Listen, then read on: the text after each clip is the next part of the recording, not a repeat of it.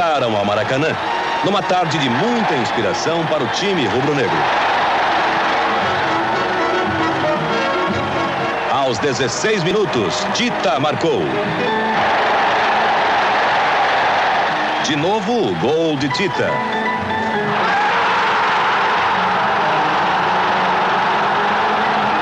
Começou aí a alegria da galera.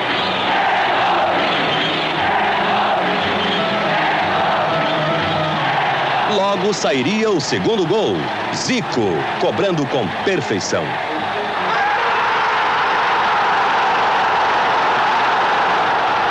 Reparem bem a trajetória da bola.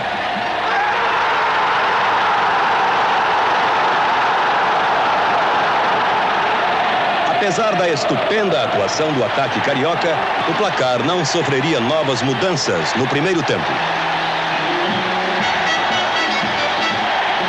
Pouco após o intervalo, uma boa combinação entre Zico e Tita resultou em pênalti para o Fla. Zico bateu e converteu.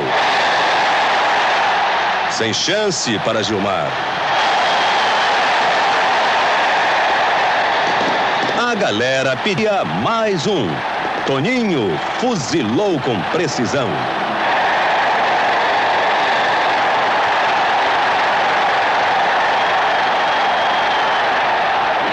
Após o quarto gol, o Flamengo começou a se poupar. Mas antes que esfriasse de todo, Carpegiani endoidou a defesa palmeirense e deu para Tita.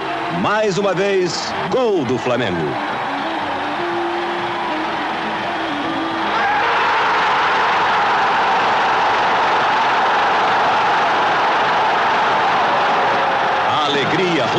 Está representada por este gesto de Tita, correndo para se despedir dos torcedores do Palmeiras que abandonam o estádio.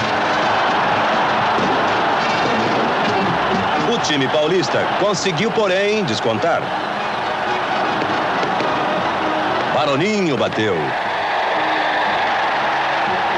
Em uma outra escapada, o Palmeiras marca novamente.